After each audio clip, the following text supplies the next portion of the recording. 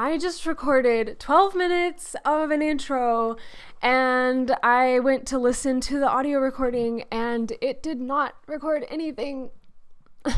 Ah, uh, fortunately, I am in a very good mood today because it is beautiful weather outside.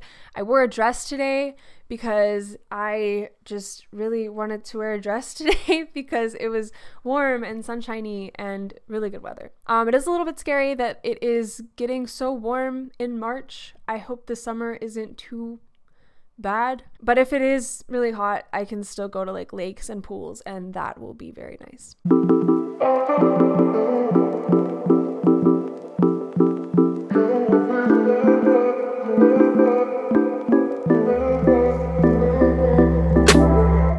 Back to another video, guys. Thank you for showing up. This is my third video this year in my sketchbook series. Let me explain the sketchbook series. At the beginning of the year, I decided to start a new sketchbook, which doesn't seem like a big deal. Artists are starting new sketchbooks all the time, probably way too much for their own good. But recently, for me, I kind of had fallen out of love with my sketchbooking practice. I was like drawing all the time before college, and then I got into college and expanded my horizons in the art world, really got into painting, and I still kept sketchbooks, but I just didn't really like them that much. I guess painting had kind of more so become my preferred language of art, and my skill just didn't quite match my taste when it came to my sketchbook practice. But this year, I really wanted to dig back into that. Um, I really wanted to have a sketchbook that I'm happy with, that I'm proud of, that I can take around with me. Also, a sketchbook that I can not care too much about. I'm kind of caring a lot about this sketchbook right now. Like, I'm really happy with it so far. So, I don't know if that goal has been met maybe I just need a second sketchbook that I don't share with like anybody that can just be my my trash sketchbook. But this sketchbook is very exciting for me because I've tried out lots of different styles and concepts and I honestly I have a lot of fun with it. And so in this series I've been bringing you along with me to show you my experience with this sketchbook uh, raw and unfiltered. I don't have a time limit. I'm not trying to finish it in like a few weeks or a year, even. I probably will finish it in a year. That's my guess. Um, but if it doesn't happen, it doesn't happen, and that's okay. I am just showing you what my mindset is the whole time and the process of drawing in it, um, bringing you along with me, and hoping to inspire you in your own art practice along the way. Also, in each of these videos, I am partnering with Skillshare and I am recommending one Skillshare class per video that may be helpful to you in your own sketchbooking practice. The videos will have like sketchbooking related topics, um, whether it be ideas on how to fill your sketchbook, tips on how to go about sketching, things like that. And so let me explain what Skillshare is first. Skillshare is a platform with thousands of videos. You guys have heard my spiel before if you have followed me for any amount of time, probably. It is, yeah, primarily aimed at creative people.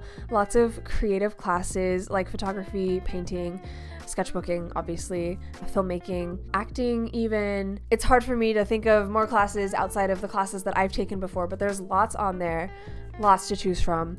And the class that I would like to recommend you guys for this video is. Drumroll, please. This is Start Drawing Three Fun Freeing Exercises to Spark Your Creativity by the artist Carly Kuhn. And I first took this class like two years ago, I think. Um, and it really inspired me. It definitely lives in my memory as a good class. Um, it's another short one, like like the last class I suggested, so it's pretty easy to take in if you are in a rush. She gives three really simple exercises to help get your creativity going, maybe get you a little bit out of art block, at least, you know, kind of put a band aid over it temporarily. I do the blind contour exercise all the time whenever I don't know what to draw in my sketchbook, but I want to draw something. So I recommend this class. It's a good one, and it is the third one I will be recommending in this series. And I come bearing gifts the gift of a code to get you a free trial of Skillshare's premium membership so you can see what it is all about. The link is in the description, and if you are one of the first 1,000 people to click on it, then you will get a free trial of Skillshare's premium membership. Okay, um, without further ado, let us get into the sketchbook update. I have six new pictures to share with you. Some of them come with a story, so get ready to hear all about the new pieces in my sketchbook. All right, here it is in all its stickered glory. I will briefly go through the previous pieces that I've done here just to give you a quick re recap, and then we will continue on to the new pages.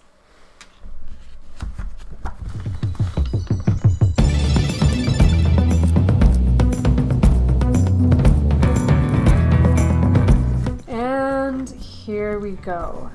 So this piece is one of the story pieces I was talking about. This is something that was just, I don't know, just an interesting thing to happen in my day. So I went to the local coffee shop. I was just sitting there preparing to do some work of mine, just little things that I hadn't really had time to do previously. But then I decided I would take a sketching break for the sake of filling up this sketchbook, um, for the sake of just having a mental break as well. There was only me and this other guy in the room. He was just quietly doing his work with earphones in and everything. And I just thought I would ask him, hey, can I, do you mind if I draw you for practice? And he said yes. And he actually got up to go get some water real quick. And then he came back and sat down. And as he was sitting down, just to be friendly, before he put his earphones back in, I decided I would ask him what he was doing. And that turned out to be a very not simple question, or at least the answer to that question was not as simple as I had thought it would be. And we ended up getting into this big, deep philosophical discussion because he is working on something that has to do with philosophy and has to do with making the world better and changing the way people think. And so he hmm. talked to me all about his project. Um, we discussed other things that were related to that. I told him a little bit about my art. He's an artist as well. Um, grew up in a very artsy family, but he's also many other things at the same time and it was just a good conversation. It lasted over an hour, I believe, and I just kept kind of drawing while we were having the conversation. I did the sketch first, did some more details there. Um, actually, I think it started out as a pencil sketch, and then I moved on to pen. And then I did a little bit of color. I introduced a little bit of color into the scene. That's about when the conversation ended, and I had to move on to my next thing.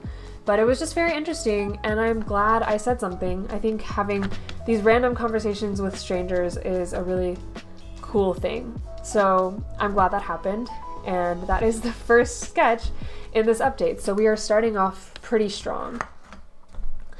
This one also has a little bit of a story behind it. This was in my dining room here at the house. We were all just coming together at the end of kind of an, an intense day for most of us, and we were just talking, discussing things, doing all of this over some dinosaur egg oatmeal, and that's why I, that's what I called this piece. I called it dinosaur eggs. It's little like sugar eggs in your oatmeal, and then whenever you pour milk into it, then they hatch and dinosaurs come out. So we were eating that for the first time and, drinking tea and just decompressing over all the events of the day and all the stress that was in our lives. So this one was done a few weeks ago in a little small group that I've started meeting with and they have a picture of butterflies in their house and I just decided to doodle some butterflies on this page. I'm actually kind of planning to come back and treat it as a coloring page just whenever I'm bored and I I have nothing, no ideas to draw anything else. I can just color this in with crazy colors and have fun with it. This is another little backstory, kind of, sort of. I went to visit our local McKay's, which is a record shop, a bookstore, um, and lots of other used things as well. These are all CDs, as you can see, as you hopefully can see if I drew them correctly. I went with my boyfriend, and he was just browsing records, and I decided to take advantage of the opportunity to do a little sketching. And I sketched it with a red pinkish pin. Um, and then I put watercolor over it. I had this element of uh, bleeding pin ink in one of my other pieces, this one. Um, I drew the whole thing in pen and then I went over it with watercolor and the pen bled and I really liked that and I wanted to revisit it and so I did in this piece. So I put the pen down and then immediately afterwards I colored it with my watercolors. That was just a really nice time. I remember one specific instance, I was just drawing and it was really quiet in the store and then I realized all of a sudden why it was quiet because the music just came back on and I realized, oh shoot, we there had been no music this entire time. And it was a Journey song. I love Journey. It was a good moment. I enjoy sketching in public. I enjoy capturing the moment in my sketchbook. This was created last weekend when I went to visit my family for my dad's birthday and I just went on a walk in my old town because I don't live there anymore, but it definitely is still home to me since my family lives there. And so I went on a walk through the streets. It was like evening or close to evening time, and people were taking walks around me. The sun was low, not setting, but kind of low in the sky. And I the weather was beautiful. It was like perfect temperature. I found this little street corner and one light was on and the other one was off. And I thought it looked kind of magical, so I stationed myself right there, brought out my sketchbook and my watercolors, and just captured that moment with dogs barking in the distance and birds tweeting and the occasional car coming down the road, the occasional person coming down the sidewalk, and had a lovely time, a very nice therapeutic evening. This is the final piece in here. I honestly don't even remember when I did this. I might have been sitting in church. It's often one of the best places to just do like mindless doodles. I've done a few of these where you just kind of drag the pen across the page in random little designs. I tried to not let the pen touch itself. There are some places where that did happen just because I was getting really close, but it's cute. She's cute. Um, it reminds me of this other abstract piece that I did right here. Just some fun little doodles. And that is it for now. Come back next month and I will give you the update of the next few pages. And that is all, folks. Thank you so much for watching this video. Please let me know what your favorite sketchbook page was. Please comment. Please like this video. If you're new to my channel, subscribe. Also, like, if you haven't already hit the bell for notifications, I never say that. I always forget to say that. I forget how important it is. But yeah, hit the bell so that you won't miss the next sketchbook video and also the next vlog, which will be my January January vlog, which was two whole months ago, but that will be coming sometime. Also, don't forget to check the link in the description for that free Skillshare premium trial. Um, I hope you enjoy it, and yeah, I hope you are having a good sketchbook journey of your own if you are doing so. Share tips in the comments, share ideas. Let's get this going. Let's get the inspiration flowing. Um, yeah, I think that is it. I hope you are having a beautiful day wherever you are right now. I know there's some hard things happening in the world right now, um, especially Ukraine. If you are in Ukraine, if you have family in Ukraine, if you have friends in Ukraine, just know that I am thinking of you. I am praying for you. Um, I love you guys, and my heart hurts for all the pain that's happening right now, whether related to Ukraine or just related to just being a human in a broken world. I love you guys, and I hope that you can find some beauty in your day because I believe it is there. It does exist. I promise you that. Sending love to you from my corner of the world, and I truly hope you have a good day moving forward. Stay safe. You are loved. Find beauty. All right. Bye, guys.